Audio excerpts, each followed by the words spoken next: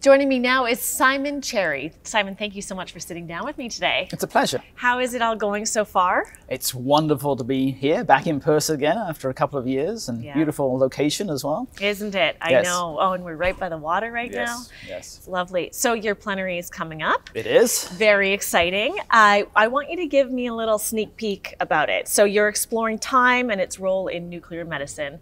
What is that all about? So, so I chose the theme of time for a couple of reasons. So, first of all, I want to pay tribute to some of the people that laid the foundations for our, our field. So, I want to look back in time and talk about some of the seminal work that, that led to where we are um, today.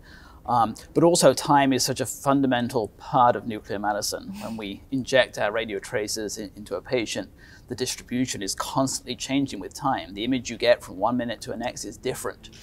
And so I want to explore um, how we can use that information and uh, to gain better insight into the underlying biology. And then lastly, I want to go to, the real extremes of time and look at, at detectors that can measure time with a, a precision of less than a billionth of a second, which is what we use in time of flight PET imaging.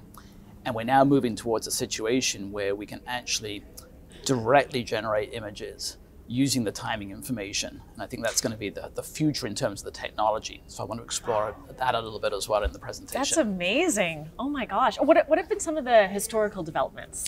So, so I think uh, obviously you start with Marie Curie, probably. Um, you, you know, uh, isolating different uh, radionuclides, um, really setting the stage of being able to use radionuclides in practical applications. Following from that, uh, George Hevesy uh, in the 1920s, you know, using one of those radionuclides, lead 212, um, to study its uh, uptake in plants. That was the first application of a radionuclide to a, a biological system. He then extended that work into animals, and so that's really the, the basis of the, the tracer kinetic principle, where you put in trace amounts for radioactive material and watch what happens in a living organism, first in his case plants, and then into animals. And of course, now we do this in, in humans. And then finally, the people that started to develop the, the technology, the imaging technology, so Benedict Cassen, um, whom the lecturer that I'm giving tomorrow is named after. Um, Wow. he really developed the first directional imaging detector and then scanned that across the thyroid to produce the first image um, inside of the, the human body. And then Hal Anger, who, who took that even further to develop the first gamma camera, also called the Anger camera um, in his name.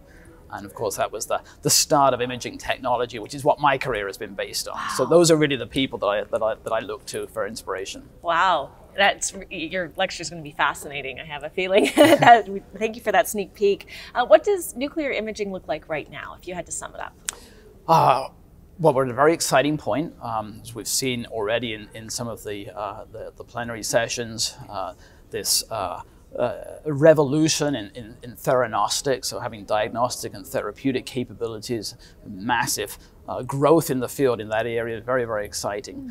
Um, on the technology side, we have incredibly sophisticated technology now, and, and I really want to um, recognize a lot of the scientists and, and uh, engineers in industry who are often the unsung heroes who develop these incredible machines that are robust and reliable and safe that we use in our hospitals um, every day.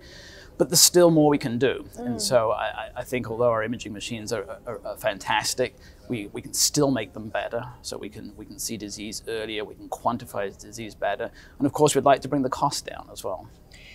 When you talk about the future of nuclear imaging, uh, what does that hold as far as a global picture? Yeah, I, I, I think that's a really good question. I, I, I think um, we need to recognize that the needs for uh, nuclear medicine are going to be different in different parts of the world.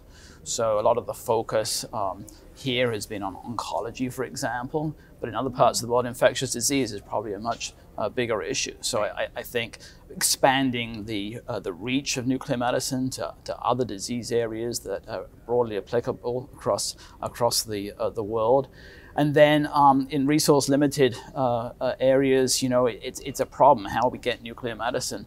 Uh, accessible. It's, it's, it's not the easiest technology to disseminate. So I think we need some, some clever ideas about how we can make it much more globally accessible. Simon Cherry, thank you so much for breaking it all down for us. You're very welcome. Thank Good you. luck with the plenary. Thank you. Thank you very much.